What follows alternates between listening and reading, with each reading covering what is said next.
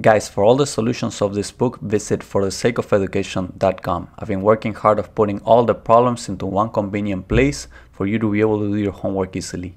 So pay us a visit.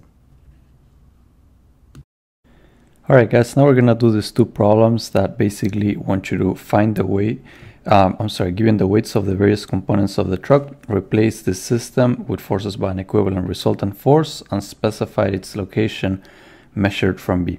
So basically what you're doing is you are bringing all those forces together into one force that would represent the forces and the mom moment being applied at point B. And for the second part of the problem, we're going to do the same thing, but at point A. So let's do the first part. First, you want to find the sum of the forces.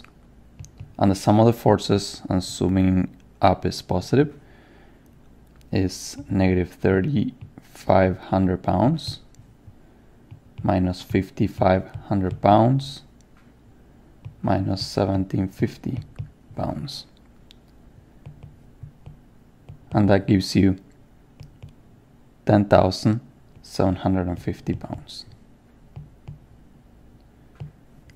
With this number, you can find uh, both parts of the problem. So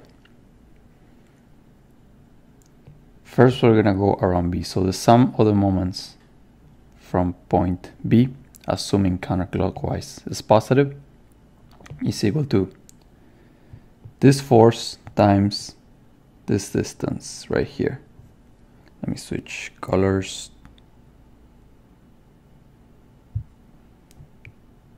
This distance right here. So that will be negative 3,500 times 3. Then this force times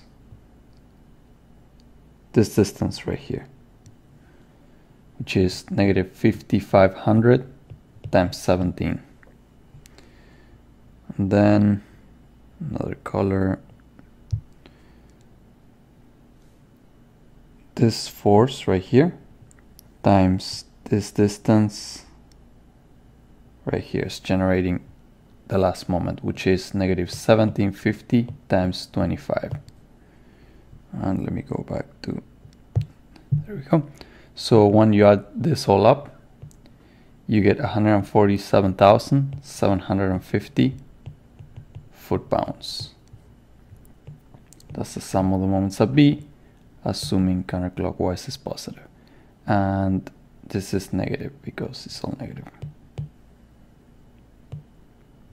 So, if you had to find the distance d, which is the distance from this force being applied, where is it being applied, in order to generate this same moment, then you know that the sum of the forces times that distance d is equal to the sum of the moments at B. So D is equal to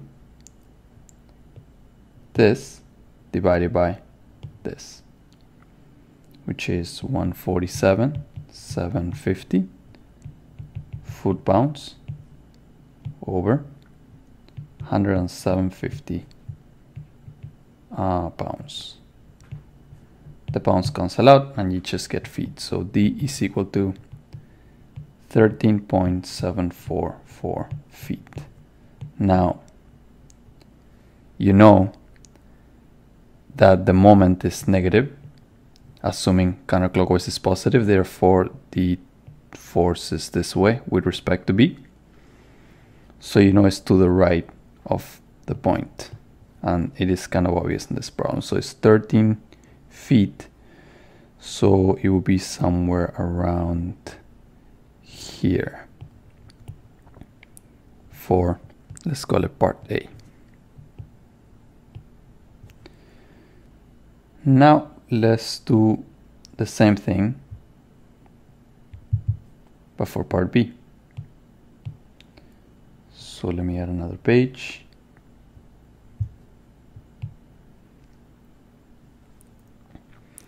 And for part B, we already have that the sum of the forces is 10,750. We found that on the first part. And we're doing the exact same thing, but from point A. So, sum of the moments at A is equal to minus 2 times 750 for the first one, assuming counterclockwise is positive, and that creates a negative moment. So let me pick a color here. So it's this arm times this force. Now, plus 6 times 550, I'm sorry, 5500, which is this arm right here, times this force.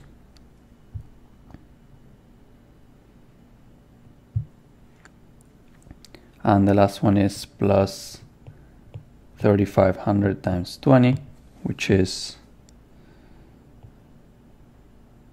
this sum right here times this force of 3500 and it makes a counterclockwise so it means that it's positive. So that gives you 99,500 foot pounds and is positive therefore the moment with respect to A is counterclockwise because we assumed that counterclockwise was positive.